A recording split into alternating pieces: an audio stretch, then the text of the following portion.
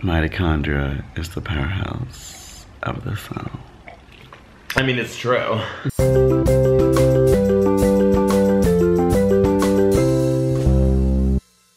And welcome back to the lab where we take your questions and turn them into experiments. My name is Mitch. And I'm Greg, and today we're going to be getting hung over for science. No, seriously, there are a lot of claims for different scientific hangover cures, but we thought we'd take some of the more simple ones that are backed by science and test them on ourselves. The reason we get hungover in the first place has to do with a few things. As you drink, the alcohol actually promotes the excretion of many components like salt, potassium, and glucose, which are required for normal muscle coordination and brain functioning. But perhaps more important is what happens in the liver. Your liver takes in alcohol or ethanol, breaks it down into acetaldehyde, and eventually into acetate, which is easily excreted by the body. But the problem is that there aren't a lot of enzymes to convert it to acetate, meaning the more you drink, the more that it accumulates. And acetaldehyde itself is 10 to 30 times more toxic than alcohol, leading to headaches and feeling nauseous. We are here in LA with Mamrie Hart, and tell us about yourself. Okay, well, hi. I like long walks on the beach. My name is Mamrie, and I have a channel called You Deserve a Drink where I make original cocktails,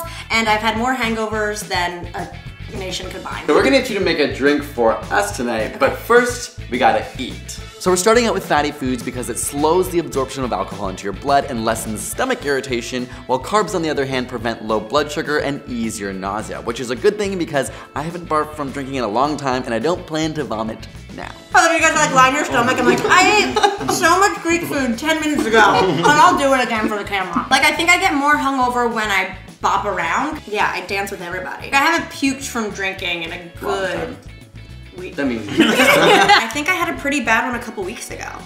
So you didn't throw up? Uh-uh. But I lost my phone.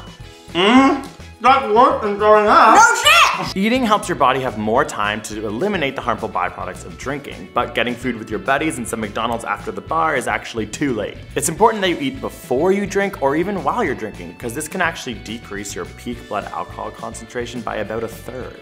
But I always eat when I'm already drunk. yeah, it's instead like of the end of the Yeah. night. Yeah, I'm a cheap drunk. Good for you. Mm-hmm. Next up, we get to start drinking, but we're gonna stick with lighter colored liquors because dark drinks like bourbon or even red wine contain something called congeners, which are just extra toxic chemicals your body's gonna have to get rid of that can cause inflammation. So now we want you to make us a drink with this clear vodka. Okay, well I figured a good like base thing is just like a vodka soda. So honored to Mamrie mm-hmm. Yeah. made us a drink. Cheers. Yes. Here we go. No, I'm joking. Oh my god, you're a really good actor!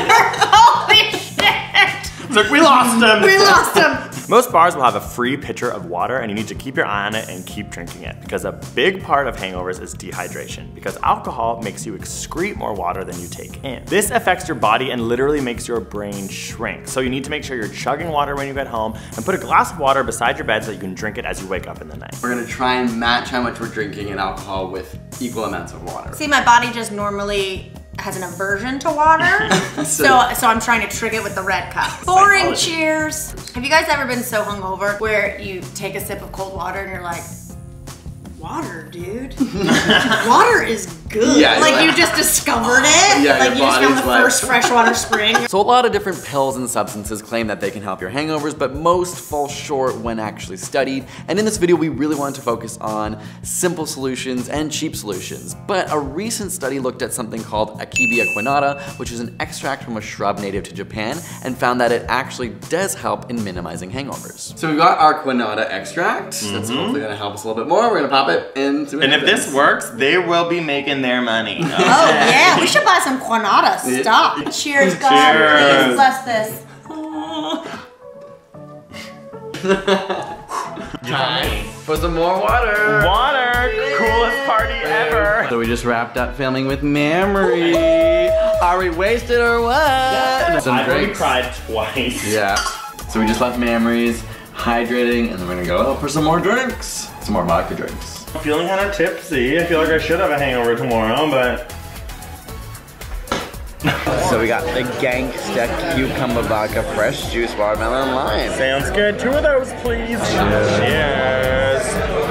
This is how you know I'm in LA. Cucumber mom. Before bed, we took some aspirin, which has been shown to decrease something called prostaglandin, which ultimately contributes to hangovers. Put your hand out. Daddy's got some food. Oh wow, I don't need that many. Uh, do not do this at home. You're telling them to do that. No, don't do 17 of the pills. That actually didn't taste bad. But try to stay away from acetaminophen or Tylenol as it can be harsh on your liver's enzymes. And in conjunction with all the drinking you just did, could do some real liver damage. So of course, now we get to see if any of these solutions actually worked and if we wake up feeling any less hungover than we would have on a night of equivalent drinking. I don't know if it works. I look dreadful.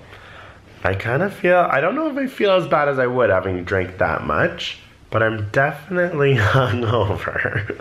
I think I'm feeling okay. I definitely am a little hungover, but I got up in the middle of the night and had water, and I'm having water now. And I'm, I do think if I, based on that same amount of alcohol, had I drank that another time, I would be more hungover. But it certainly wasn't a fix-all. I'm definitely not, not feeling perfectly not hungover. It's technically not over yet. We have some morning routine stuff that can help that we're gonna test out. So we'll give a full review by midday of how we feel. Foods like eggs, bananas, and fruit juice help to replenish your electrolytes and contain nutrients and compounds which actually assist in breaking down the remaining alcohol and toxins. Okay, so we made it to midday and feeling a little I less am hungover. feeling better, a lot yeah, better. I do feel much better. I feel like even though this wasn't a perfect test, I'm sort of comparing it to other times Other that I times, drank yeah. the same amount. This is not, I have been worse off, all the time. yeah, but but definitely I felt like I became less hungover faster than I normally would Yeah, we drank lots of water, and again, everyone's bodies process alcohol quite differently. This was in no way a perfect test, but obviously being conscious about trying to not be hungover the next day will help you in some ways. So thank you for watching. You know, follow these tips because they did help, and mm-hmm. then let us know in the comments if there's anything else you want us to test out. Absolutely, and make sure you go watch Mamrie Hart's video that we did on her channel doing some really awesome science and alcohol experiments. It's really, really cool. So go check it out on her channel and we'll see you soon.